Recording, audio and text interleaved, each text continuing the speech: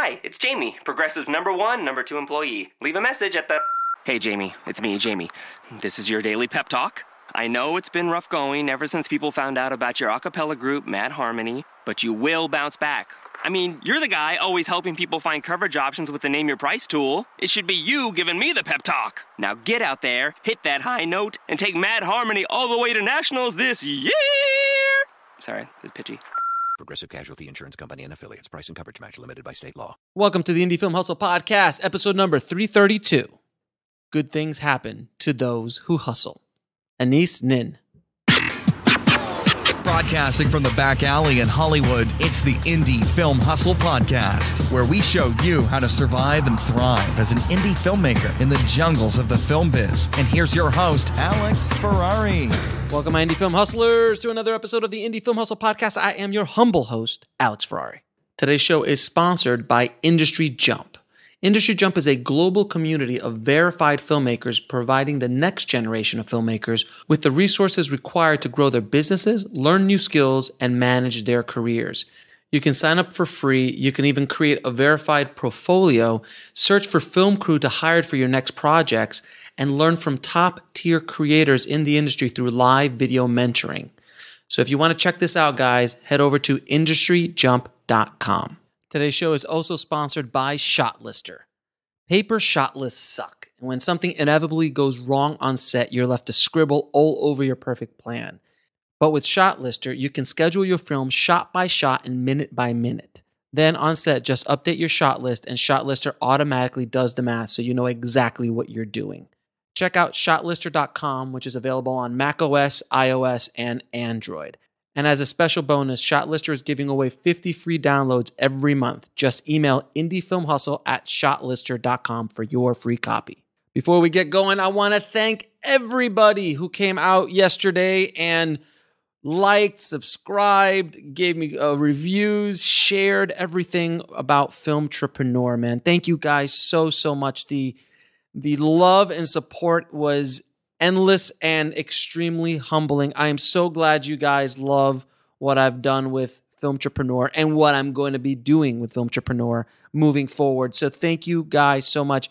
And again, if you are listening to this podcast and you have not subscribed yet to Filmtrepreneur's podcast, please head over to filmbizpodcast.com. That's film, B-I-Z, podcast.com subscribe and leave a review. Put a five star review. Leave a review if you want to as well. It really helps us out a lot. We're already up to, I think, 16 reviews uh, within a 24 hour period, which is insane. So I really, really appreciate it. So please do as much as you can to help and support the new brand, the new company. We're all part of the same tribe, Indie Film Hustle Tribe, Film Entrepreneur Tribe. We're all part of the same tribe. But thank you guys again so, so, so much. Today on the show, we have Andrew Kortschak, who is going to be talking about AI in the world of cinema and how AI is possibly going to take over the screenwriting process. I don't know. We're going to talk about it. He is the co founder of End Cue, a production company behind the indie films Cop Car, which was a big hit in the box office, and Print the Legend. Now, when Andrew co founded End Cue, he kind of saw that there was a really tough time for new filmmakers to break into the business and kind of like rise above all the noise. So his approach was very unique. He joined forces with a Silicon Valley venture capitalist to build End Cue like a tech startup via a bi-coastal incubator model where directors could cut their teeth and build their portfolios doing commercial work. One of his alumni is Jon Watts, who directed the award winning film Cop Car before he headed over to direct a small little Marvel movie called Spider Man Homecoming. And then again, he figured out that there was more pain points for young producers. So at End Cue, he actually sprouted groundbreaking AI technology to save time during the screenwriting process. Andrew's a fascinating guy, and it was a great, great conversation. So I, I want to dig into this because AI has been in the news of, you know, we've seen AI cut a trailer AI write a screenplay, edit together movies. Like it's it's a thing, guys. I know for us right now thinking, "Oh, AI will never take over the creative process." Maybe, maybe not. We don't know. We're in the infancy of this new technology. So I wanted to see how it really affects not only filmmakers, but indie filmmakers moving forward. So without any further ado, please enjoy my conversation with Andrew Kortschak. I'd like to welcome to the show Andrew Kortschak. How you doing, brother? Good, man. How are you? I'm good, man. Thanks for being on the show. I appreciate it. Thanks for having me. So first off, man, how did you get into the film business? I got into the film business based on, um, I don't know, childhood love of, of film, uh, and you know, slowly building towards um, making myself an invaluable part of the process, or at least striving to be one. Um, that's kind of you know, it, has been a long path, but um, have had a great time doing it. Very cool. Now you also went to USC, right?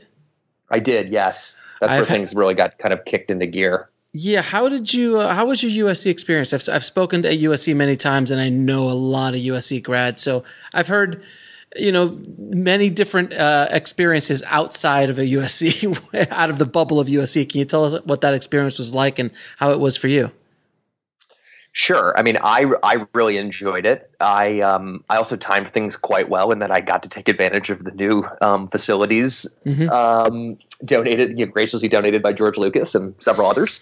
um, so it was always nice, you know, walking into something that felt like a real film studio as a as a uh, 18 year old. But um, you know, I can only speak from my own personal experience. I was a little bit of an odd bird there because I um, was very, very focused on animation and documentary work at the time. And I think USC has a reputation for developing great um, studio filmmakers, studio executives, and representatives. Mm-hmm. And I um, personally struggled a little bit with having to wear every hat. Um, and you know, I, by then I knew I um, was not interested in directing personally, but you know, you have to go through the process, and I do absolutely see the value in that.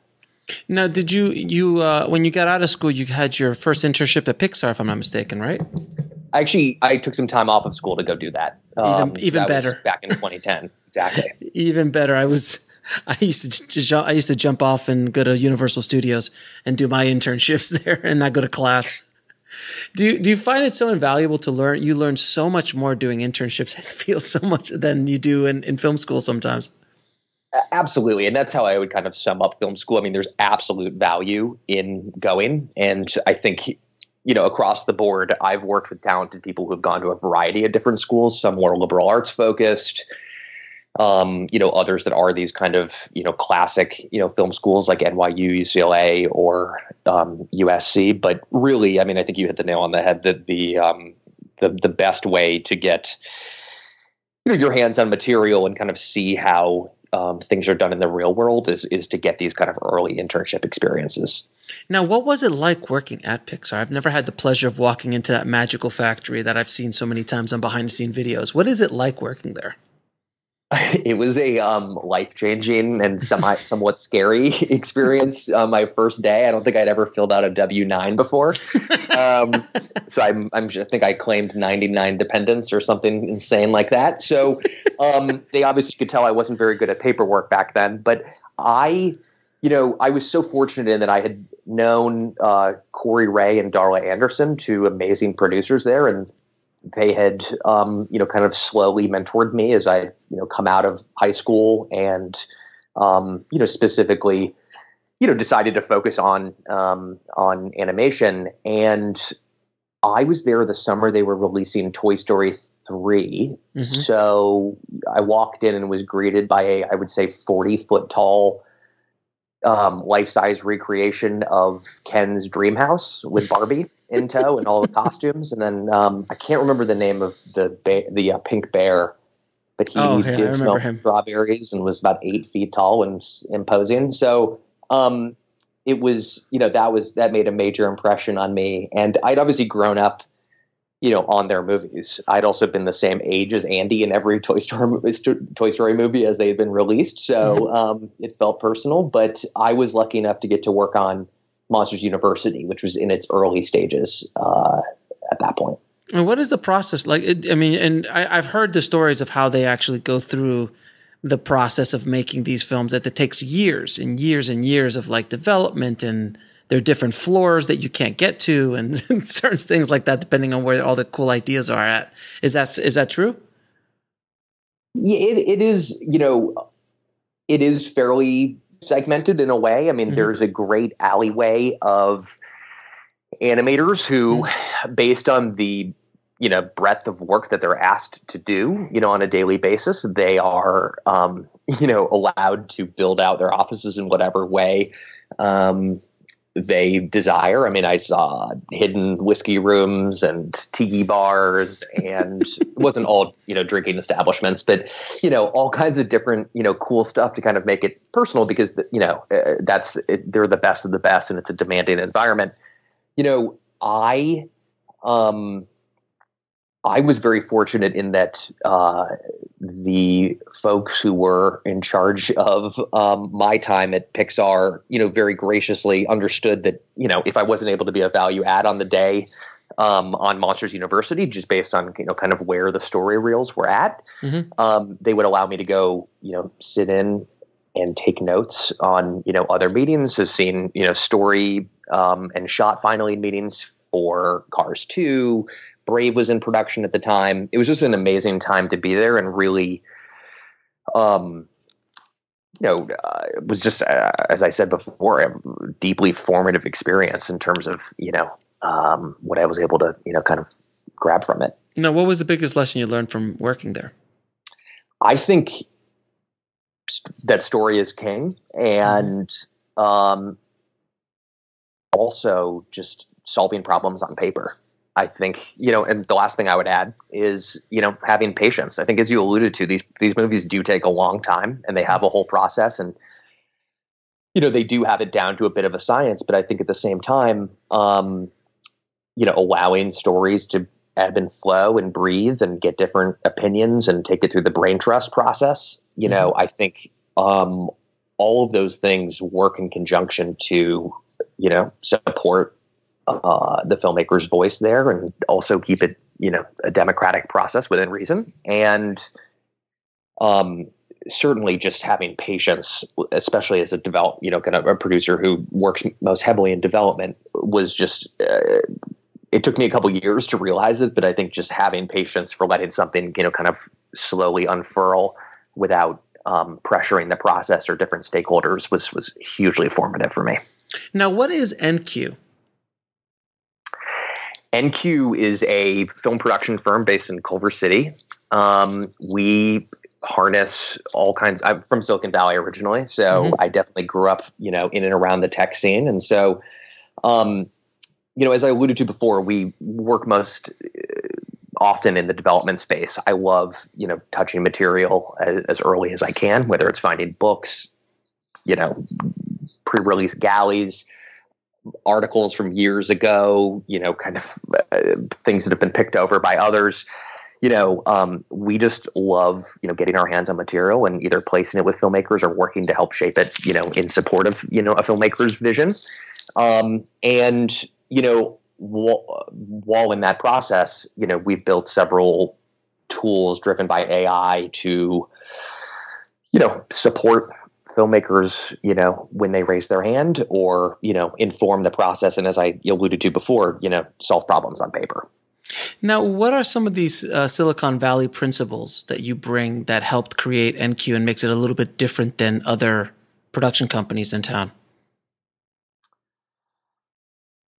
I think having a more progressive and calm working atmosphere than some of the things I was exposed to. I don't want to incriminate anybody, but you know, um, the story, the horror stories I've heard or experiences I had, you know, coming up in the business. I think, um, you know, one thing that's important to me is supporting folks um, throughout the process, not just hiring the best of the best and you know, compounding, you know, people on top of one another. I think, you know, I just like I enjoy working with young filmmakers. I like, you know, the opportunity to mentor my, you know, kind of young um, colleagues as well, and you know, give them uh, maybe more responsibility than they were expecting, and you know, kind of allow them to learn lessons on their own. So that's certainly one thing that I was exposed to, you know, just growing up in the era of Google and I guess I, I shouldn't be talking about Facebook as a uh, as an as a um, reference point, but you know, um, Silicon Valley, especially during the tech bubble in early 2000s, was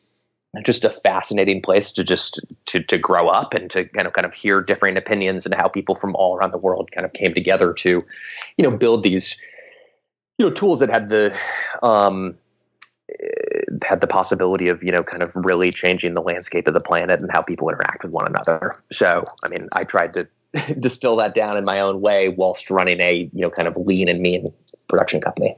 Now, when you are hiring people or bringing people in, what are you looking for as part of a team building situation? Because, you know, from my understanding of Silicon Valley principles, from what I've studied, it is quite different than your general old school production company here, where, like you were just saying, you just kind of like build up this kind of like either competitive situation or there's like, you know, the hierarchies. It's not as, as not as a, it's very much like the what um, Pixar did with the brain trust. Like that concept was completely alien to anything anybody here in in, in Hollywood before it became popular. Before they popularized it. So, who are you looking for, and what kind of parts are you looking for when building a team? Because I think that's important for the audience to kind of understand when they're hiring crew. Uh, it's not always the most talented. It's not only the most experienced and, and the biggest star uh, that you want to hire, if, if I'm not mistaken, correct? Yeah, absolutely. I would say, you know, several of the things I really look for are obviously passion uh, and energy. Um, and then I also put a, you know, huge emphasis on um, creative taste.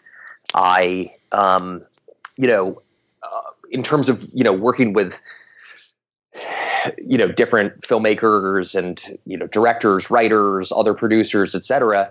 you know, um, at the end of the day, I think all people really have is their taste. Um, experience is one thing, but every movie is a different beast, as you know. So mm-hmm. I, you know, you kind of learn on the fly, and that's you know, I think what you were alluding to about you know getting you know hands-on experience as an intern or PA, what have you.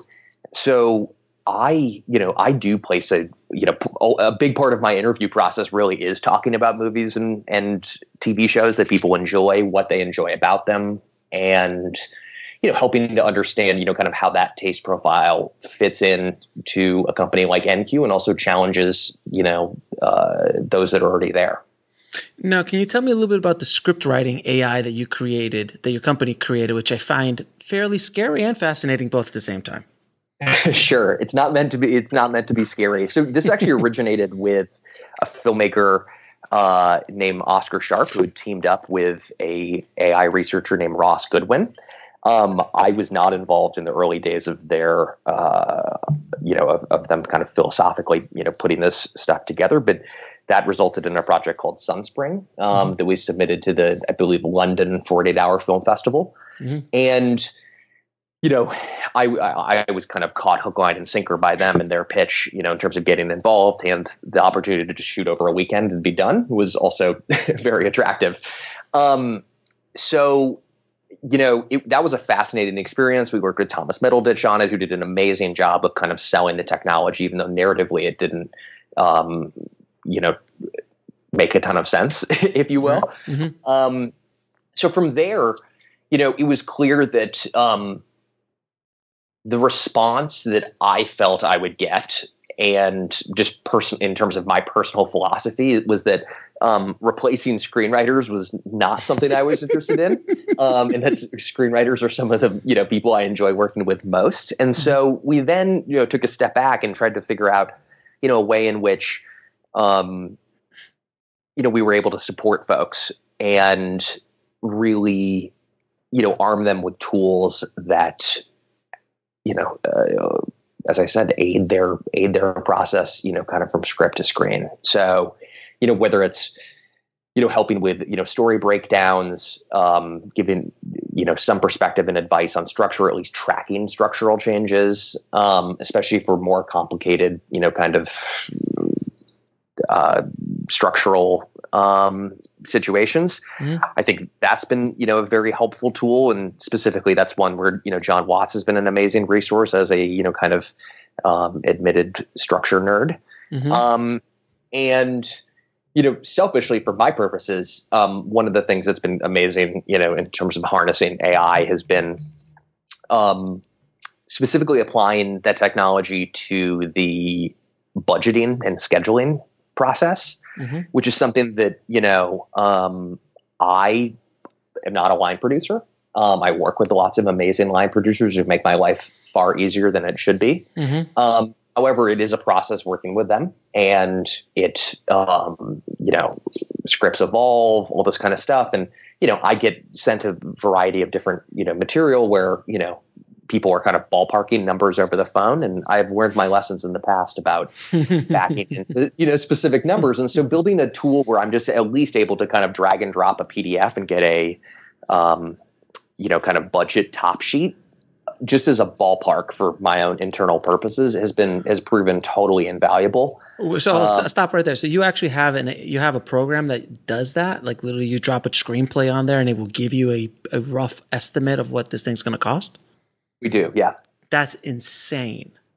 it's been a lot, and it's been a lot of fun to develop. I'm very fortunate to work with some incredibly smart um, folks mm-hmm. um, who, you know, took a major interest in um, applying their problem solving skills from a totally different discipline and have, you know, attempted to kind of make my life easier. and, and, is, and is, this something uh, that's just internally used, or do you actually have it out for sale, or is that now it is? It's not. It's not for sale yet. We, um, you know, this, as I'm sure you you're aware, you know, this industry, especially from the studio level down, is is fairly tech averse. Yes. Um, Why is that? And, you know what? I, people are set in their ways and i think mm-hmm. you know what i hear time and time again is that movies have been made the same way for 100 plus years and why change it now? So right. that's what netflix um, said. Yeah exactly. So you know i think you know for now it's been the kind of thing that i've um, you know shared with friends and other line producers. And, and again we're very early days in this you know kind of stuff and so i would kind of characterize this as, as an experimental software still. Mm-hmm. but mm-hmm you know, still one that informs our process and that is just constantly, you know, fun to interact with. Now, where do you see AI playing a part in the film business moving forward? I'm going to likely get in trouble for saying this, but I would say that we are probably 20 years away from a convincing AI screenplay, mm-hmm. um, mm-hmm. you know, that would trick a normal audience. Um, that again, wow. this is my personal opinion. So, sure. and also, you know, I don't want to subjugate writers and I want to support them and, you know, give them more tools, you know, to kind of extend, you know, what folks like myself and, you know, my collaborators and colleagues are able to kind of, you know, help, help them do. So, you know, in terms of, uh, you know, AI applications, I would say certainly, you know, in the budgeting and scheduling software, which is an art in and of itself. Mm-hmm. And you know, talented ads and line producers are just invaluable um, allies to have. You know, heading into you know differently sized movies or when you start to get out of your comfort zone.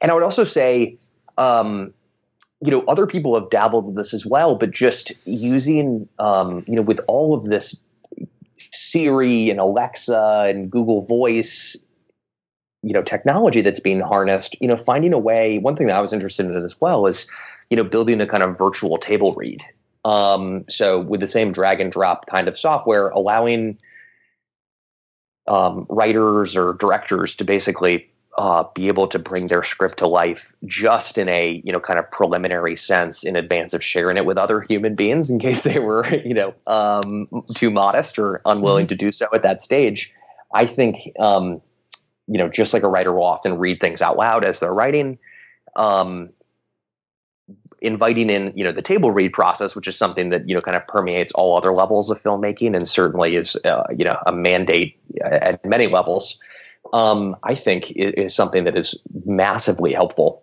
in, you know, helping to, you know, kind of diagnose where a script is at and, and, and what could improve.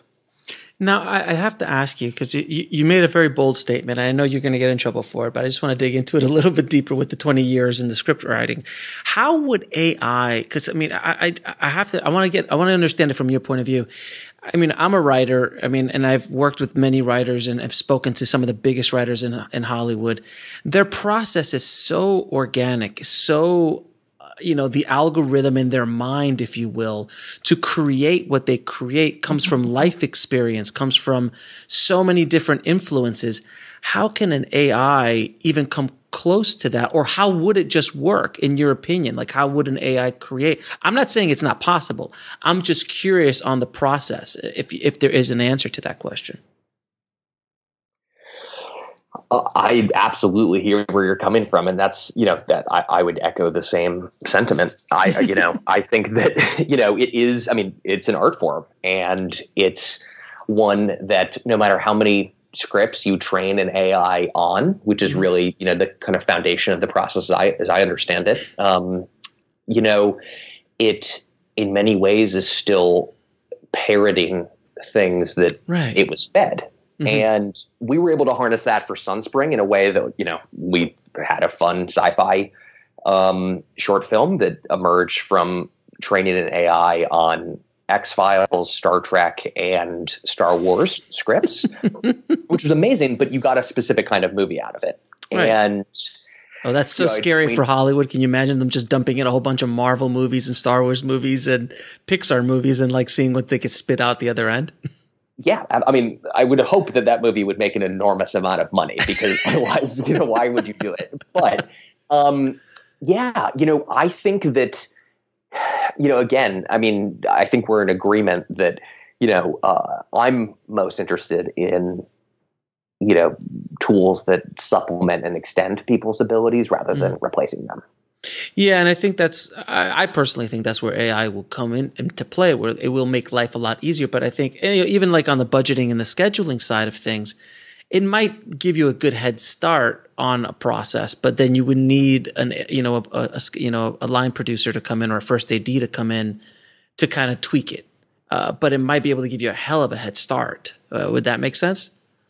Absolutely, absolutely, and we're seeing this every day in you know with companies like final draft and writer duet you know every few months they're rolling out new you know feature sets you know that are additive to the process and do help organize things and um, i think that's great and so if those if that's the easiest point of adoption for you know writers and directors you know to kind of find and discover this technology that's that's awesome and, and in many ways how it should be now, do you believe that? Because I agree with you, the studio is so the studios are so cu- stuck in their ways that it's extremely difficult for them, for them to even move an inch, let alone like, you know, when Netflix showed up, everyone was laughing at them. But then mm-hmm. they've literally become one of the biggest studios in town, uh, doing it in a completely different way and delivering content in a completely different way. Do you believe that a lot of this kind of technology or AI kind of uh, tech would make its way down more into the indie film world? More and more of these lower budget films where then it slowly will go up up the ladder? I certainly hope so. I mean, um, you know, being a young guy myself, I hope that other, you know, kind of young and up and coming filmmakers I work with, you know, learn the value of these kind of tools, you know, in a way that is additive um, and not a crutch, and you know, can as you had alluded as you had alluded to, you know, really um, kind of grow with this and you know when they're major forces of nature within the industry you know kind of make this a mandate as part of their process. So i think just interjecting as early as possible um, in whatever way is supportive. If somebody is interested in, in harnessing this kind of tech um, you know i think that's that's always been our strategy in terms of you know adoption. Uh, do you see an ai directing a film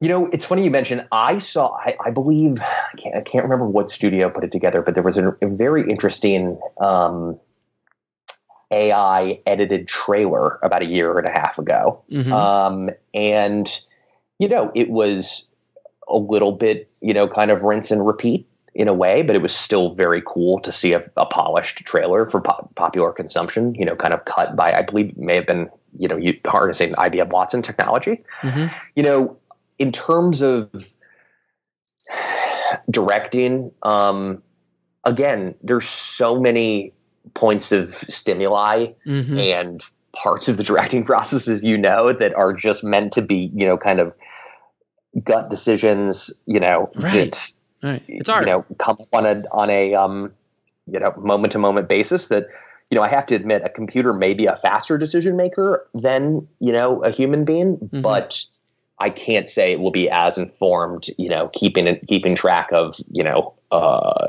the artistic goal, you know, dealing with personnel, um, continuing a vision for you know for a project or a mm-hmm. specific scene. That's a lot of different stuff to be juggling, and so I I hope that it's something that develops, but um, I I remain skeptical for the time being.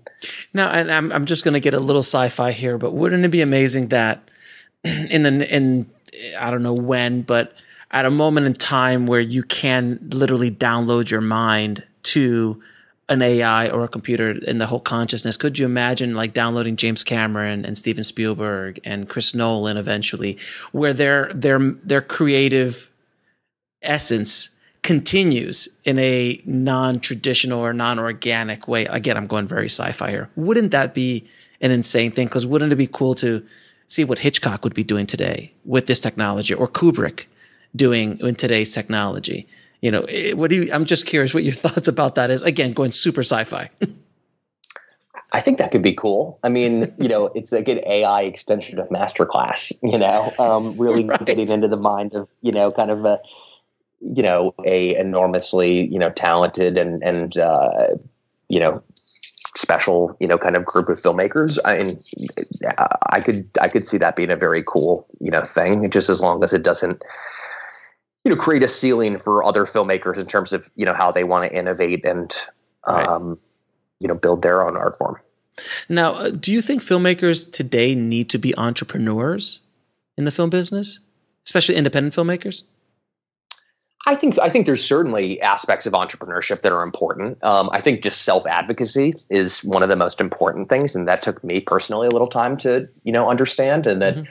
you know everyone had to start somewhere. I remember someone taking me aside and just saying, "Stop, you know, acting like you're this is your first rodeo, or stop telling people that." You know, like everyone mm-hmm. has a rookie season, and you know you have to build from there. Like everyone started not having any idea what they're doing, mm-hmm. so I think, you know, finding a balance between, you know, self confidence and, you know, also, um, you know, uh, humility um, in terms of, you know, being open to learning the process from people more experienced than you and kind of taking their lessons and, and, and making it work for yourself personally, I think is, um, is important. But, you know, in terms of you know classic entrepreneurship, you know I think you know building some sort of presence and um, bringing groups of people together in a way um, is is likely the most important thing I think in terms of you know making your you know staking your claim and you know kind of making your first steps in the industry. It's really important to have a group.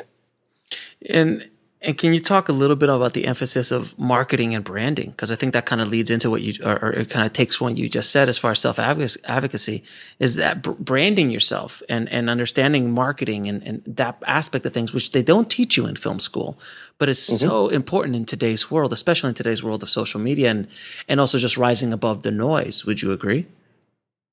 Absolutely. I mean, I would say that you know it's important to be honest with yourself in terms of the the kind of movie you're interested in making, um, especially in your first couple hits at bat.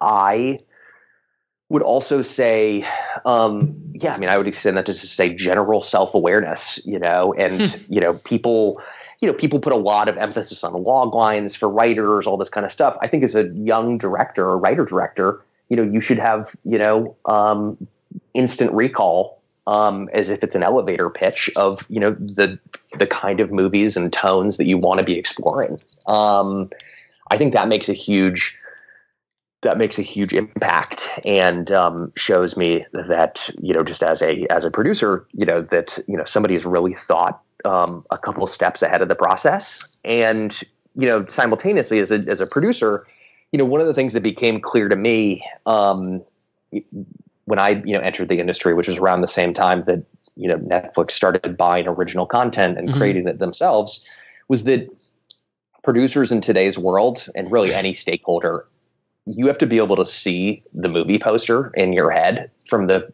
earliest stages of the script.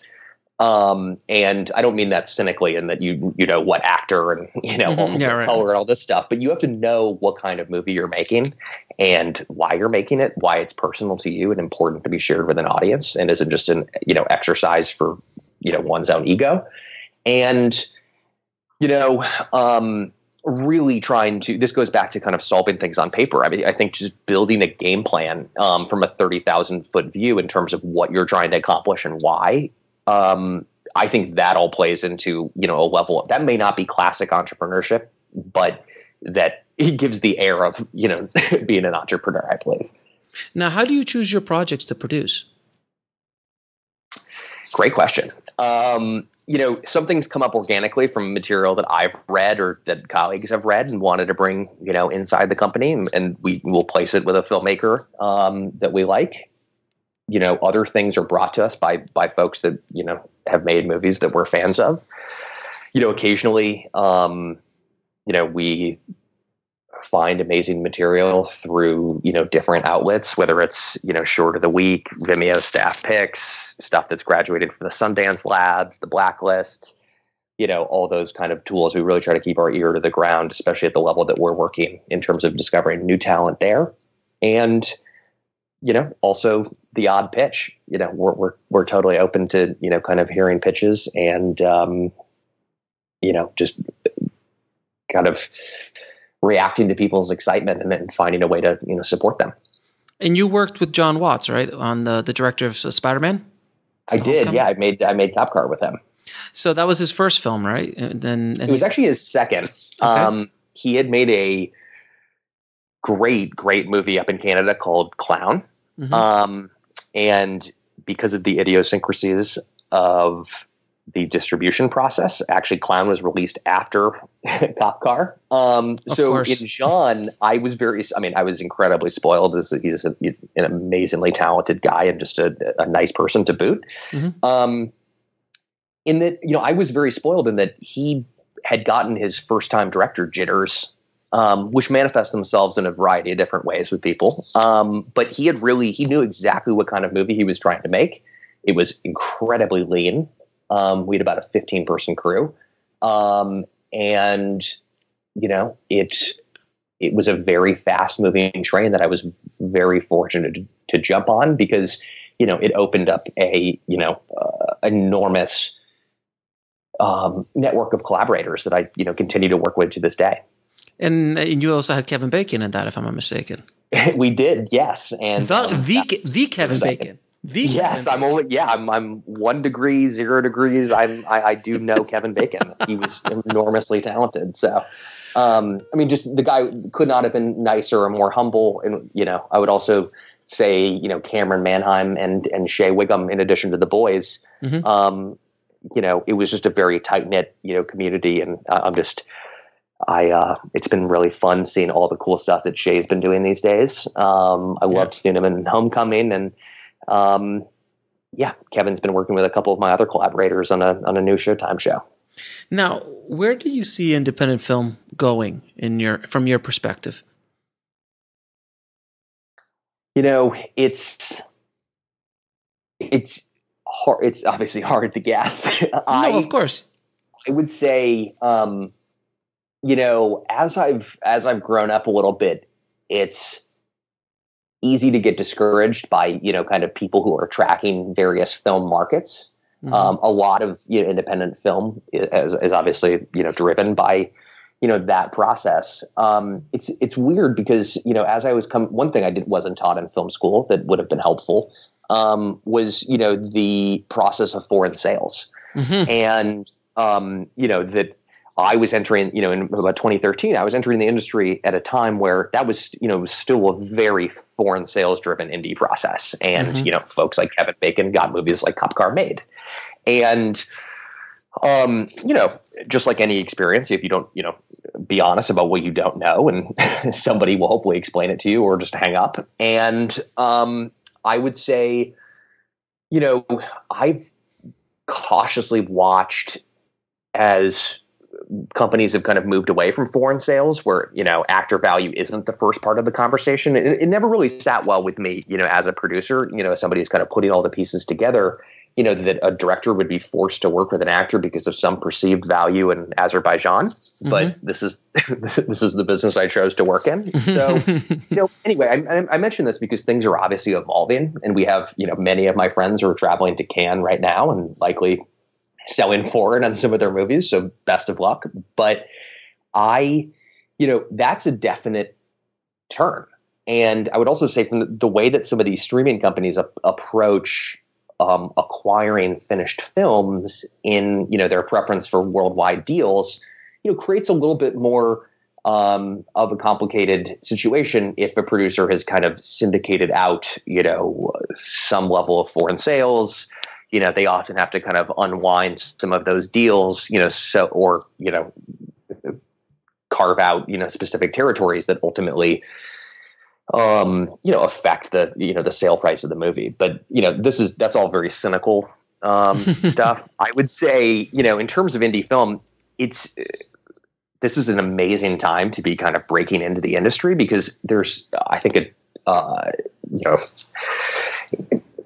Information has been democratized in such a way that you know, um, you know, you're able to learn how to make a movie basically from YouTube and mm-hmm. with resources like you run mm-hmm. and mm-hmm. you know the kind of you know perspective that you share you know so I think you know gone are the days of you know people like James Cameron going to the USC library and reading every book on filmmaking. I think you can kind of you have everything at your fingertips. And you know you have the ability to kind of create or join a community you know of people um, who you know want to support each other and are able to do so. Because i mean at the end of the day this is a team sport. Um, you know despite you know the many way the many organic ways that, that, that projects began. So kind of a roundabout answer honestly mm-hmm. but you know i i remain very excited about the independent film space and you know i think um there's more buyers than ever as well oh, so God, that yeah. will that will drive. I think that's a good thing for everybody. And everyone has a different mandate. Everyone has a different level of reach and a different platform for getting to their audience. And I think just having flexibility in terms of,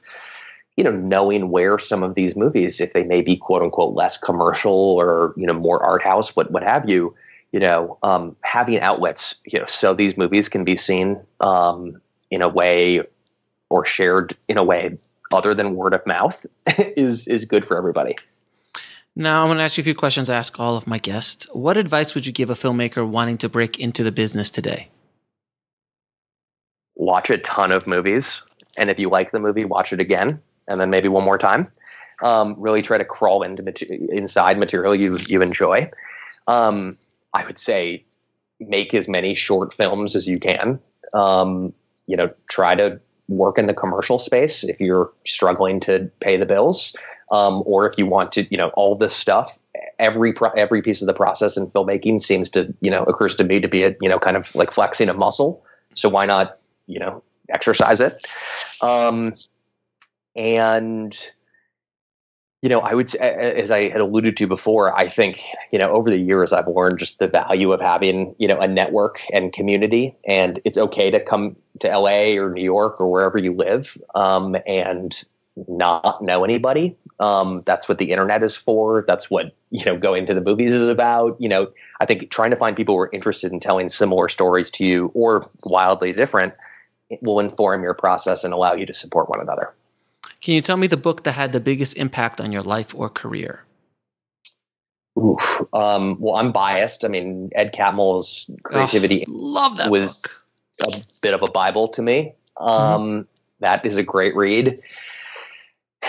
Um, I would say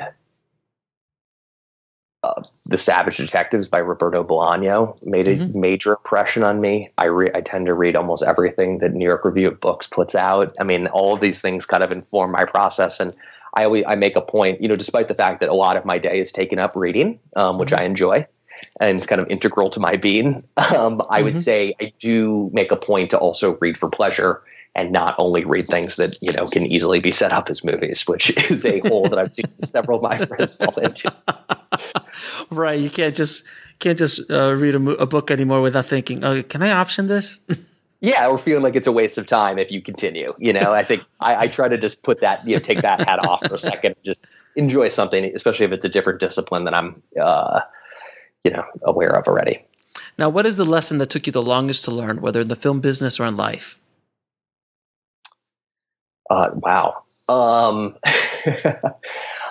you know, I would say you know it, it's back to you know the value of uh, of a network. Um, one of my one of my criticisms with USC, um, and this may have been just what I took from it, mm-hmm. um, or I maybe missed that day of class, was you know the importance of building a network, and that's kind of the point of going to film school in a way, is mm-hmm. you can mm-hmm. you know as as you had said earlier, you can kind of learn many of these lessons in a you know um, equally stressful environment professionally, where you're being paid to do it, mm-hmm. and um so I would say, you know, it was really the it was really the process of making Cop Car where I got to see folks like Chris Ford and Jon Watts work together.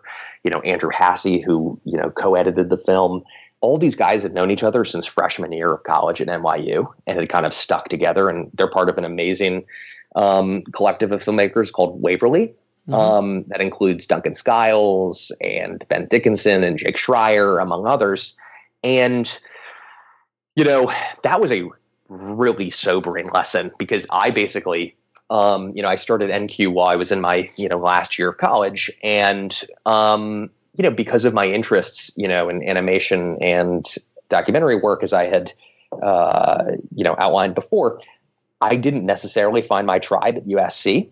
And mm-hmm. so, you know, I was lucky in that I lived in LA for a little while. I had some, you know, I had a few random personal connections to people who seemed to know what they were doing. But um, really, I think the importance of you know surrounding yourself with great people, people you want to collaborate with, people who have approached things differently than you and who can really challenge your material. Mm-hmm. Often it's my closest friends who give the harshest notes and there's a time and place for that.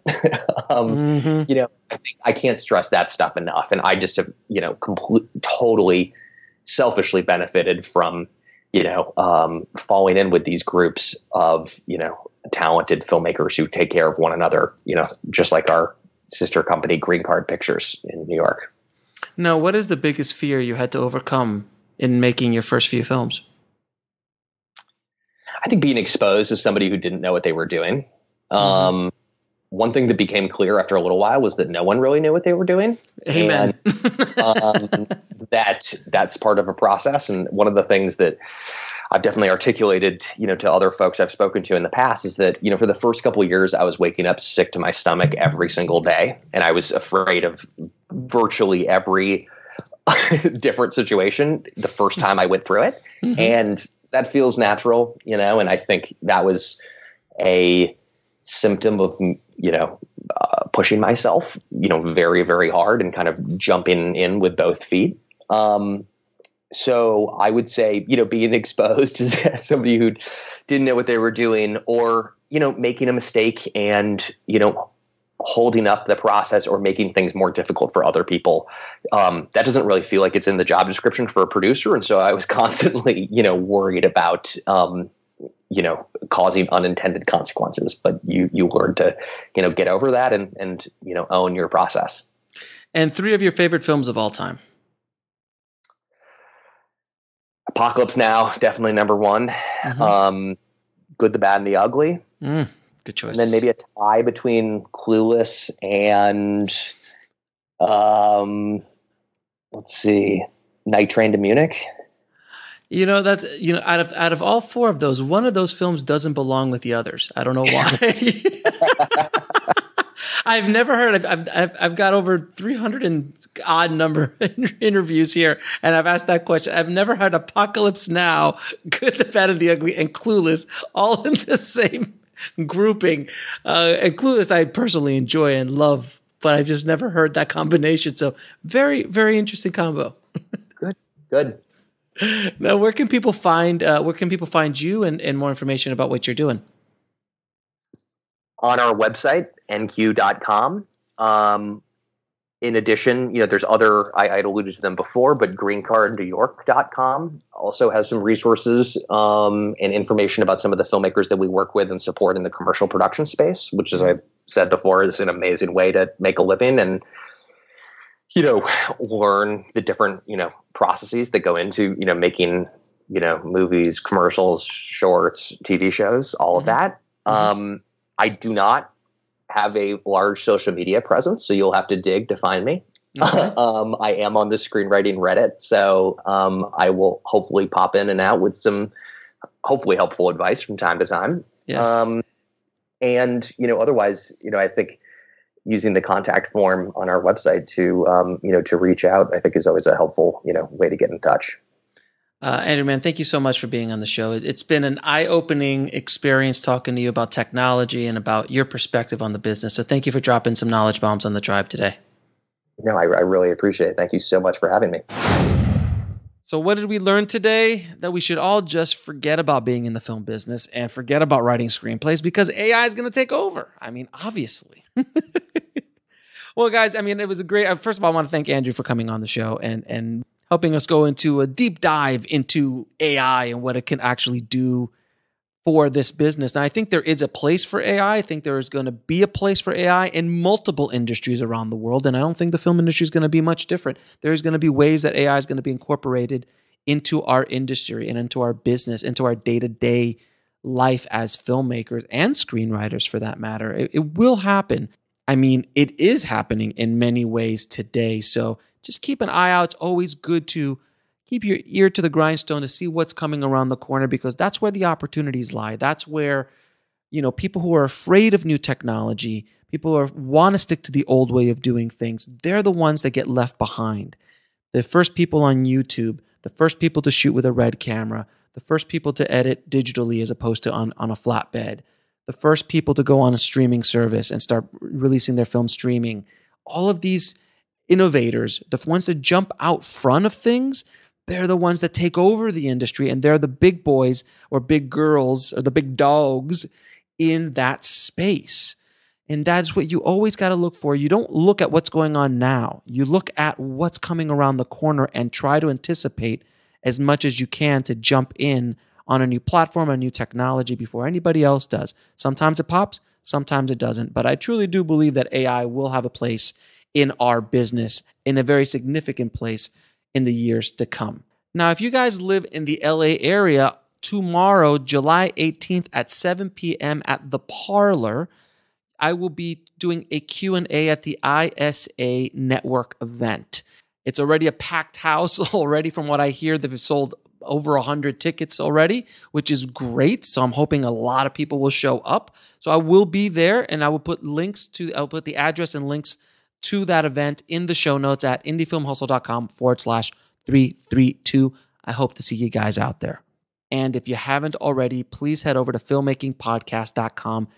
Leave us a five star review, subscribe to the show. It really helps us out a lot. It really does. So, thank you for listening. That's the end of another episode of the Indie Film Hustle podcast. As always, keep that hustle going, keep that dream alive, and I'll talk to you soon. Thanks for listening to the Indie Film Hustle podcast at indiefilmhustle.com. That's I N D I E F I L M H U S T L E.com. Pros do it right to take their business to the next level by relying on trusted brands to get the job done. Lowe's is here to help and help you save. For your next stain job, get a gallon of Valspar One Coat Transparent Stain Plus Sealer starting at $35.98. And we now offer the Little Giant King Kombo Ladder, the world's first step, extension, and leaning ladder, giving you the flexibility to do just about any job for only $159. For trusted brands that make the job easier, do it right for less. Start with Lowe's, US only. When one thinks of the deli, the sunny shores of Waikiki don't typically come to mind. But Boar's Head is anything but typical. Introducing our new bold Aloha Sunshine Turkey. Sweet, savory, and dare we say, tropical. Coated in a savory pineapple flavored glaze. It's a taste of Polynesian paradise right at your deli. Bon appetit, bon voyage, and of course, aloha. Bold Aloha Sunshine Turkey. Available fresh from the deli and only from Boar's Head. Compromise elsewhere.